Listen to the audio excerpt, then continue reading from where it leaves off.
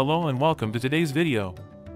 Today, I'll show you how to convert JPG or PNG photos to PDF on your Samsung smartphone, whether you're online or offline.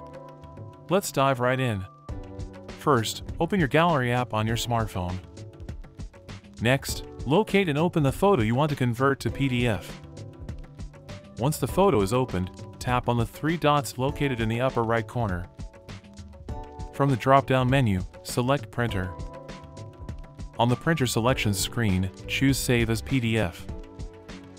After selecting Save as PDF, tap on Print or the yellow button with a download logo, depending on your model.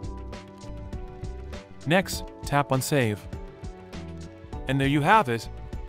You successfully converted the photo to a PDF. To find your PDF file, navigate to My Files. From there, open the Documents folder, and you'll find your PDF file. Thanks for watching. Don't forget to like and subscribe for more helpful tutorials.